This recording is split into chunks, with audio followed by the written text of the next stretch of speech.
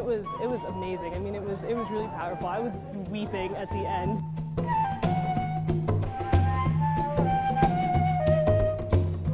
Uh, the husband and the mother um, in Turkey uh, resolving all their pieces, and then you had the other piece happening in Iraq, where the, the journalists or pseudo journalists are sort of uh, were seeking their fame and fortune.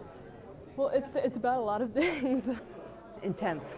Really ambitious, took a big topic.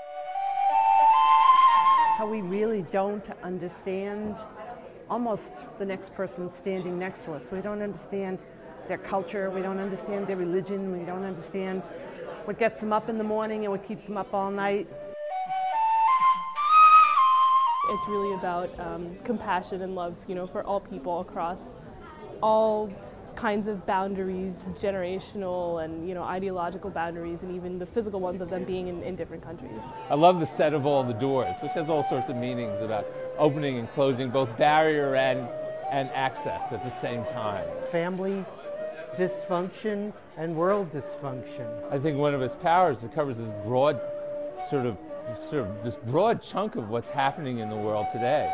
So it's it's, it's political, it's personal, it's religious, it's a fairly strong sexual piece to it. I, I like the part that said at the end about how grief and love affect you in the same in the same way. So I'm going to run home and send an email out to all my friends. Absolute first-rate production. It's a really important show for people to see.